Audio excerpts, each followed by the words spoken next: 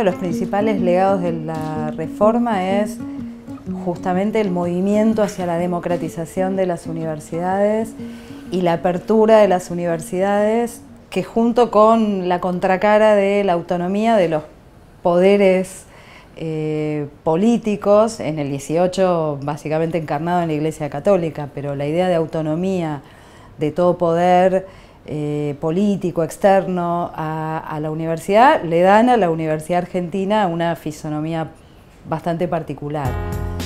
Me parece desde esa perspectiva que si tuviéramos que mirar el legado de la reforma en relación con los desafíos del nuevo siglo, eh, yo diría que es el desafío de pensar cómo la universidad contribuye a construir una sociedad más igualitaria.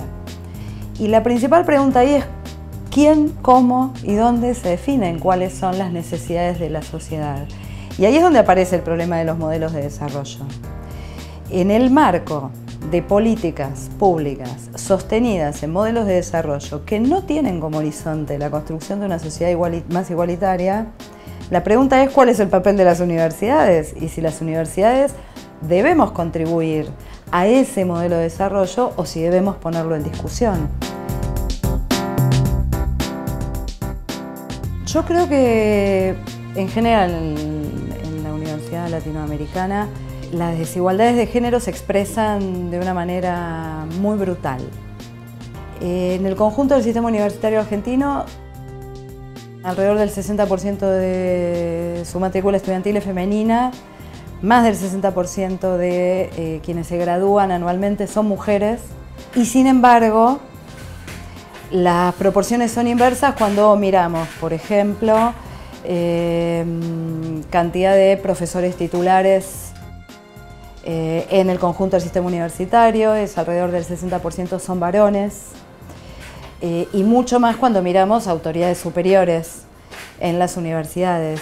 Sobre casi 60 universidades somos solo 5 rectoras mujeres, rectoras electas en universidades nacionales, una rectora normalizadora y una rectora mujer de una universidad provincial.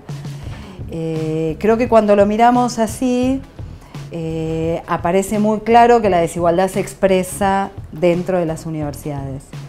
El horizonte final, me parece a mí, es que empecemos a formar profesionales con perspectiva de género.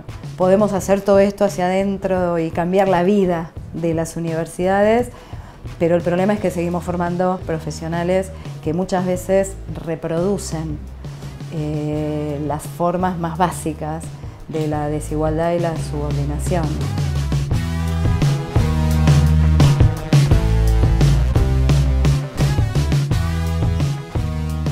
me parece que las universidades estamos ya siendo conmovidas eh, por lo que el efecto que produce en la tradición universitaria el ingreso de cada vez más jóvenes que provienen de hogares con baja tradición universitaria, nos coloca a las universidades en la obligación de repensar formas de organización del trabajo académico y fundamentalmente nuestras prácticas de formación.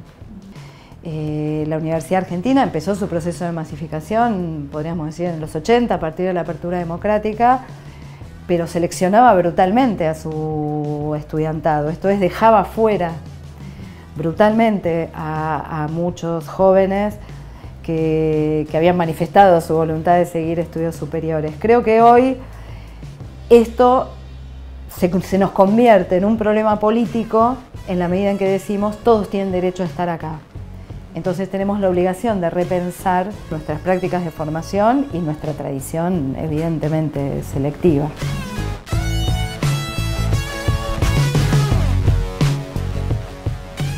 Yo creo que estamos hoy en un escenario en el que las universidades resultan un blanco. Estamos hoy en una situación de ajuste presupuestario, de recorte del presupuesto aprobado por el Congreso Nacional, que muestra de una manera bastante evidente cierta dirección de las políticas públicas. Estamos en este momento en una coyuntura de paritarias salariales para trabajadores docentes y no docentes, donde no hay oferta salarial siquiera con paritarias vencidas.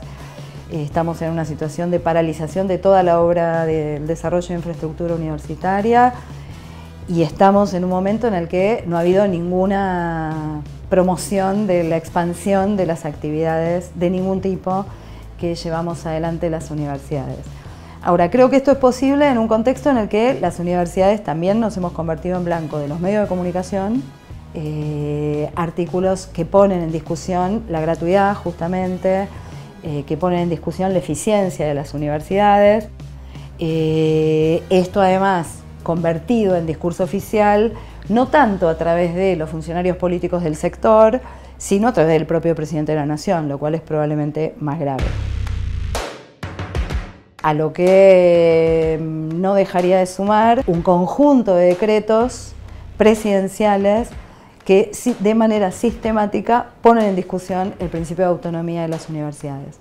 Entonces, creo que lo que están en discusión son los principios de la reforma, justamente, son los principios de la reforma universitaria. Es la idea de una universidad para muchos, es la idea de una universidad eh, en la que el Estado argentino tiene la responsabilidad de asegurar que su actividad es un derecho individual y colectivo y está en juego la idea de eh, autonomía de las universidades.